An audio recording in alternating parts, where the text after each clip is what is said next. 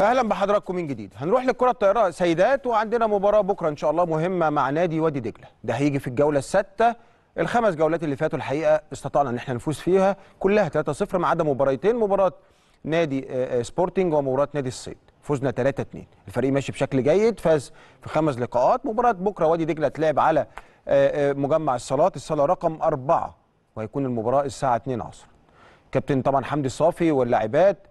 مركزين لأنه خلاص إحنا بنقرب في إن أنت دلوقتي بتلعب دور ترتيبي آه، هتبقى من واحد لثمانيه وبعد كده تلعب ال play off فخلاص أنت النهارده دي الجولة السادسة خلاص فاضل لك جولتين يمكن أو حاجة وتخش على الجد. فخلاص إحنا بنقول يعني يمكن على نهاية رمضان هتبقى الدنيا آه، مختلفة خالص لأنه خلاص هيبقى الدوري في النهاية وطبعا الفريق ده هو حامل لقب السوبر آه، آه، المصري.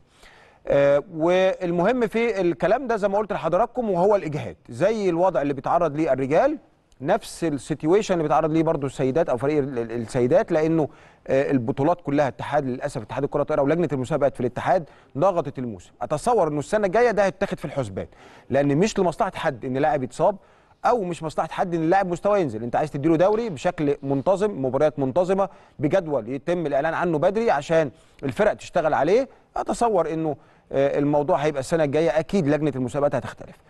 آه، أو قرار هيبقى مختلف في توزيع الأحمال.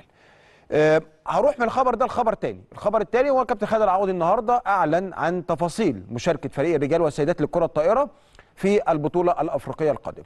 عايز أقول بعض التفاصيل عن هذه البطولة. البطولة دي كان المفروض جاية مصر وتم الإعلان إنها جاية مصر.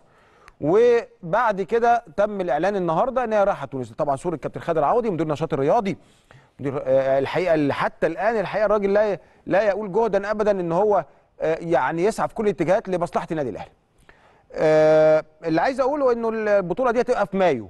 هيبقى هتبقى في مايو. والحقيقة يعني مواعيدها هتبقى في منتصف مايو تقريبا للرجال والسيدات. و... و... وهيبقى طبعا أكيد النادي الأهلي مشارك والرجال والسيدات والنادي الأهلي خد قراره النهارده بالموافقه على المشاركة. البطولة هتبقى في تونس.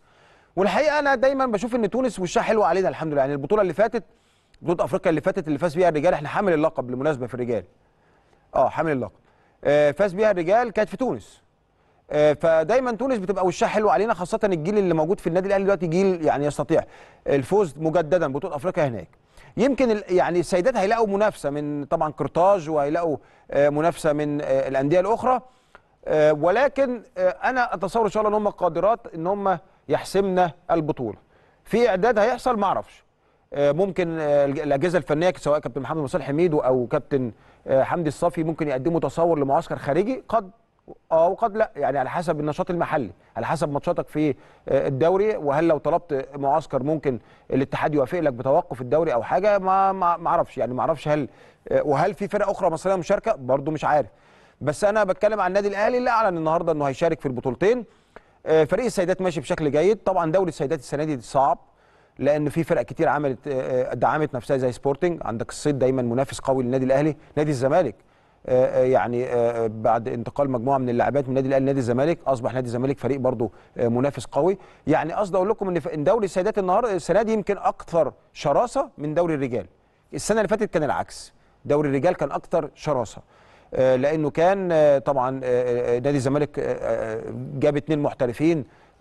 جيدين جدا وكان النادي الأهلي وصل لنهاية الموسم في حالة من الإجهاد الشديد. ف طبعا ما بنقولش مبرر للخساره ولكن ده اللي حصل ده الوضع الحقيقي اللي حصل يعني.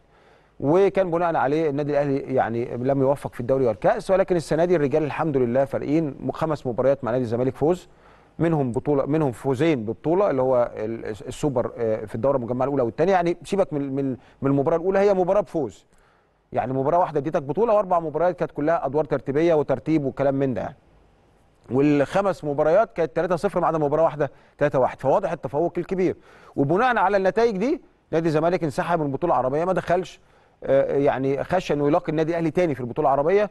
آه، وطبعا ده شأن يعني آه، نادي الزمالك. ولكن أنا بقول على اللي بيحصل في أو رؤية الساحة المحلية. في السيدات الوضع صعب سواء افريقيا أو محليا ولكن هم قدها بإذن الله.